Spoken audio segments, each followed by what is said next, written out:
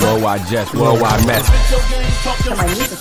On the Breakfast Club. She's a culture shift. She was able to get y'all to see something and understand something that nobody could get you to see. It's time to set it off. Okay, so a 32 year old woman was arrested after police responded to a single car accident. The police arrived on the scene to find a bystander helping Margaret Lewis after she crashed her car. But when they went to check the car to see if there was anyone else in it, they found a body of a 35 year old woman. The police said that the condition of the deceased was suspicious, and it was immediately apparent that the death was not a result of the motor vehicle accident. Okay, you just clicked off my story. What is going on? Okay, they haven't revealed how the woman actually died yet or her identity, but Margaret Lewis, the driver, um, was medically cleared of injuries from the accident. Uh, she was transported to the Adult Detention Center, ADC, and placed under arrest for interference with a dead body. Um, they probably won't charge her for a homicide until they figure out what actually happened to the woman whose body they found in the car. The investigation is ongoing, and more information will be revealed as details are clarified. That's crazy. Now, what if it was a rental? What if it was a rental and the body was already in there, and she just thought she was giving somebody a ride that was being very quiet, just throwing things out there, people. Now, could she get out of that if she used that? I don't know. No, No, no. Where was the body exactly? it was in the back of the car. in the trunk or in the mm. back seat? No. Mm, what it- if she didn't It notice didn't the say the person? trunk; it just said the back. What if she didn't notice him? She was like, I didn't. They were being so quiet. But this the thing. No, they were being so quiet, they're dead. That's the thing. But she she didn't even crash into someone else. She crashed like by herself. Like so I think that she was just so nervous. What Oh. if she was getting rid of a body? No, what if she was driving, right? Mm-hmm. Didn't notice the body in the back seat, looked in the rear view, was like, oh my God, what is that? And, And then then crashed. Boom. That's my alibi. How you don't look in a car before you get into it? What if it got tinted windows? What if you was on your phone? You was distracted. You don't smell a dead body in the back. it- Not if it just I don't died. I, I think. Well, how does a dead body smell, Jess? Oh my god. Oh, y'all just gotta have, have y'all killed anyone? Jesus Christ. No, ma'am. Y'all are uh uh Y'all got way Yeah. too many y'all watch a lot of true crime. Yeah.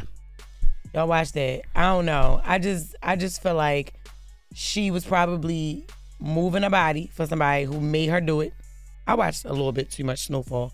But Would, would you do it that discreet though? Would you put the dead body in the back seat? Wouldn't you put the dead body in the trunk? if they have tents, Mm. sure.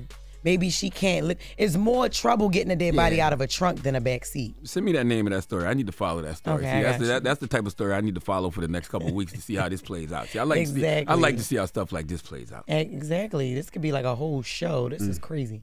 All right. In other news, Kandi Burruss says Ozempic was not for her. So Kandi was recently on Page Six's virtual reality podcast to promote her partnership with Hydroxycut. oh, congratulations, Kandi. Um, she said she stopped using Ozempic after she didn't get the results she was hoping for. That's what she said. Oh, last year I tried it. It was a ton of girls that I had knew and seen. I mean, I think Marlo talked about it on our, our reunion Yeah. that year. And I saw so many people that were trying it and it was losing weight. So I was like, okay, I'm gonna try this. And I didn't lose any weight.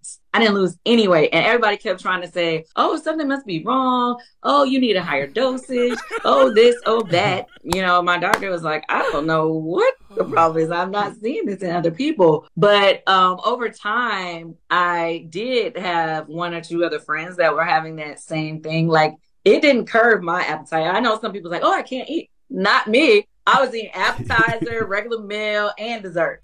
I tried Ozempic and my back's still big.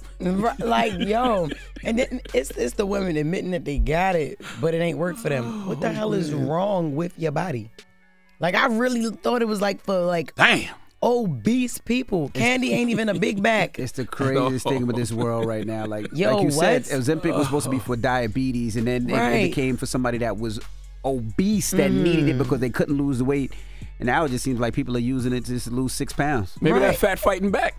That fat tired of Or that, maybe- that fat just like that fat is fighting back. Okay, that fat Yeah. tired of Ozempic, you know, raiding the body and mm. taking away them fat cells. Okay, mm. maybe the fat got shields now. Or maybe not not the fat cells develop shields. But the thing is, what if it's like a synthetic version?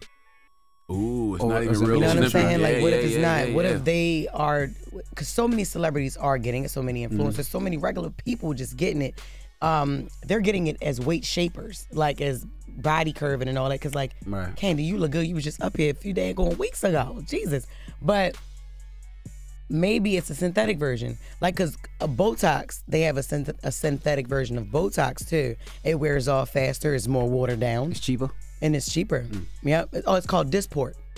What? That's what it's called, mm. Dysport. Yep. Okay. And um, but it wears off quicker and it is cheaper, but it's not the long term effect that you know Botox is mm-hmm. not Botox. So I think that it, it may be a watered down version. But Kandi even went on to say that her doctor who prescribed the medication was surprised by her body's response as well.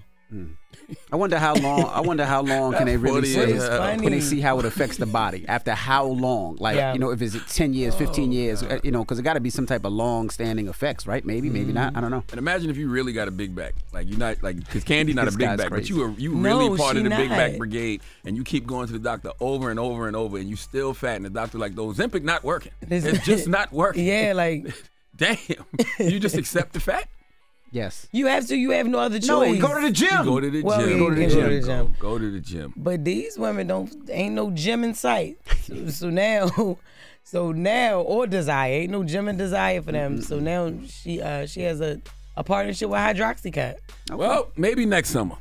Until then, big back, big back, big back, big back. Oh my god. That is just what the mess for hump Man. day, yo. Y'all, y'all crying out.